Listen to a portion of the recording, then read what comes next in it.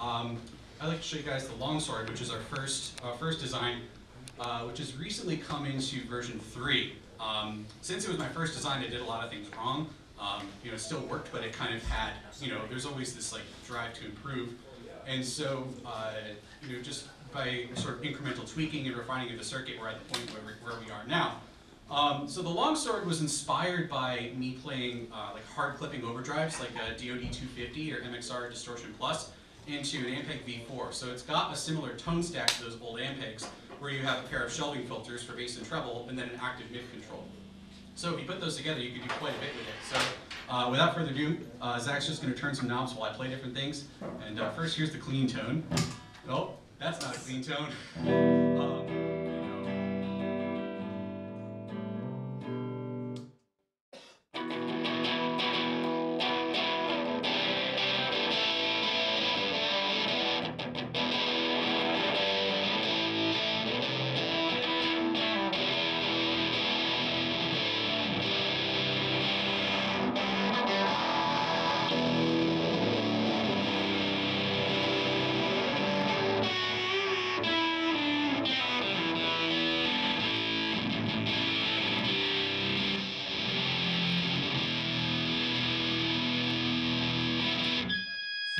quite a bit going on in there. Um, in addition to the, the EQ, which can really let you dial in a whole bunch of either really like tight tones or really kind of bitey stuff or, or sludgy things or anything in between, uh, we have a control to select clipping diodes, um, which, uh, you know, in, in a lot of pedals it's like, okay, well you've got your LED mode, which is kind of, you know, uh, louder, and your silicon mode, which is quieter, and the node diodes, which is uncompressed. People have been doing this since like the, the Fulltone full drive too. It's not an old idea, but uh, I spent a really long time auditioning different kinds of diodes, uh, trying using uh, transistors as diodes and MOSFETs as diodes, um, and amassing a ridiculous horde of weird diodes from the MIT flea market. Um, and so in doing so, we just have a nice sort of array of different tones that you can coax out of this thing. And uh, you know, two of the modes are kind of default settings, then one of them is just like a chef's choice, like whatever weird thing we're vibing on. Um, so every longsword's a little bit different in that regard, um, but you can pretty much guarantee uh, you know, a very wide palette of tones. So if we just go through the diode selector really quick, um, all the way to the right, um, this is kind of a, like a high headroom. This one is standard to all the models. Um,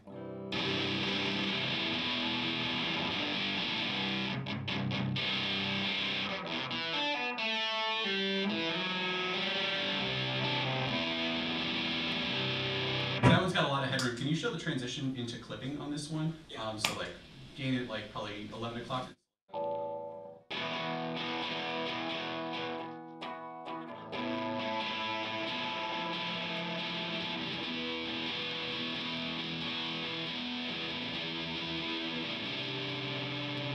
So that one is, you know, like a very gradual transition into heavy overdrive. Um, and then the all the way to the left, the middle position is no diode, so it's kind of a clean boost that goes into like an edgy breakup. Um, with this setting, it's like a very, uh, these are all like new old stock germanium diodes and weird old, uh, you know, silicon power diodes and things like that. Um, and this one's got a much smoother sound. So.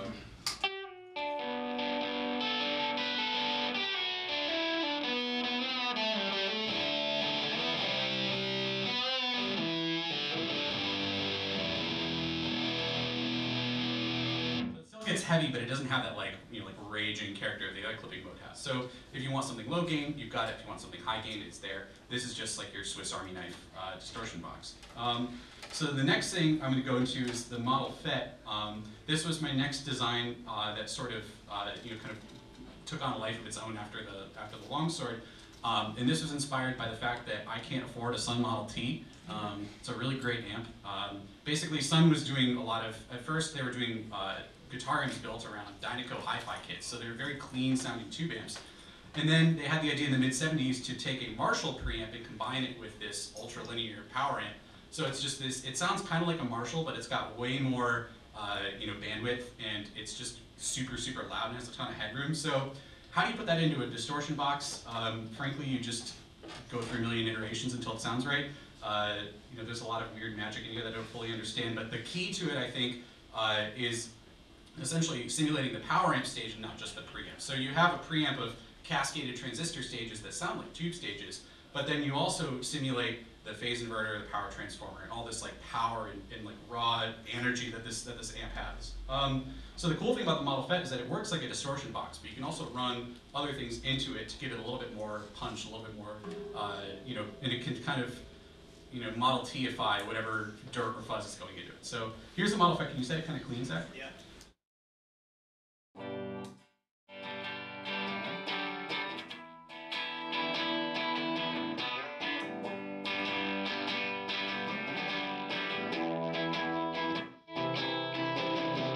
It sounds clean. The EQ is an FMV, uh, Fender Marshall Vox design. Uh, you find it in Fenders, Marshalls, and Voxes. It's very common. It's not a true three-band EQ in that the bands are all very interactive with one another, but it's familiar. And it's got a nice uh, bump in the lows, bump in the highs, slight mid-scoop that just uh, sounds right with guitar. It's a sound that we all associate with electric guitar.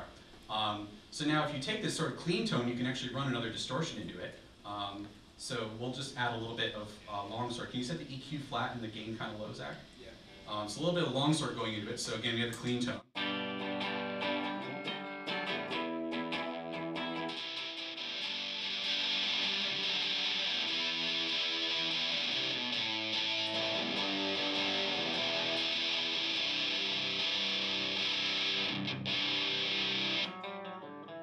So that's kind of just like enhancing what's coming in after it. Just it sounds like you're running into a dirty amp, which is kind of a more realistic, uh, you know, performing a recording scenario.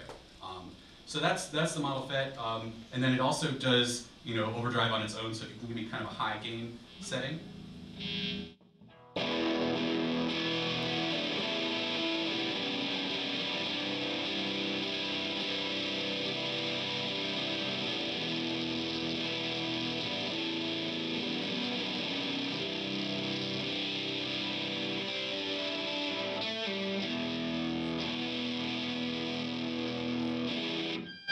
So that's also, you know, it has a lot of gain on its own. And if you take that and run like a big muff into it, it's it's apocalyptic. It's it does the you know the sun the band thing. Um, so the next pedal I want to talk about is the Dude Incredible. Um, so this one, I'm a really big fan of, of uh, Shellac, um, and Steve Albini's guitar tone is just this very idiosyncratic, bizarre, clangy beast. And I, I was doing some research and reading about it, and uh, everyone thinks that the magic of Steve Albini's guitar tone is this fuzz called the harmonic percolator. Uh, it is undoubtedly a very unique and special pedal, but he only turns it on in the parts of the songs like uh, like in Wingwalker, you know, when his guitar's just feeding back like crazy. That's the harmonic percolator. The rest of the time, it's just sitting there on stage. Um, and Steve Albini's quote-unquote clean tone is uh, his aluminum neck Travis Bean with single coils that are super microphonic and sound terrible in any other musician's hands, uh, going into this thing called the Intersound IVP. And the IVP is a basically this old rack preamplifier that's got a huge EQ and a very uh, odd distortion circuit that uses some transistors in a transformer. Um, I think it was uh, Monty was saying something about uh, pre or post distortion EQ.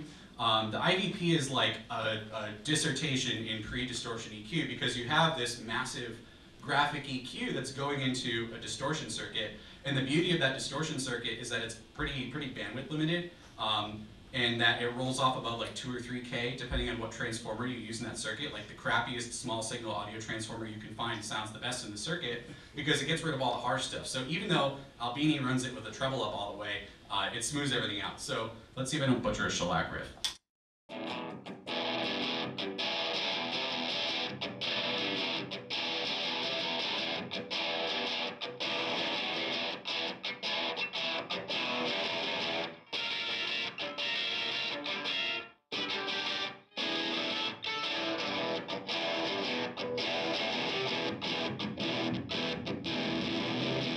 That's if you that setting was with the treble all the way up, and then Zach was adding bass. And the cool thing about uh, running a lot of bass into a circuit like this is that it overloads in a really nasty way. Um, most good distortion sounds have a lot of uh, low end cut going into them, like the classic run a tube screamer into uh, like a JCM 800 for thrash metal tones. That's because the tube screamer cuts above 700 hertz. And everyone's like, oh, I want my metal tones to be bassy. That's the bass player's job, you know, it works out. Um, and, uh, you know, so like having this sort of uh, pre-distortion EQ control lets you, uh, you know, dial in those clangy tones without it just biting into your eardrums. Um, Albini does that because of the guitar, which is super bright, and because all his cabs have tweeters in them. Um, so the other half of this is the, you know, the much uh, vaunted harmonic percolator circuit, which uh, let's first hear it on its own. Uh, just really a no-nonsense kind of fuzz.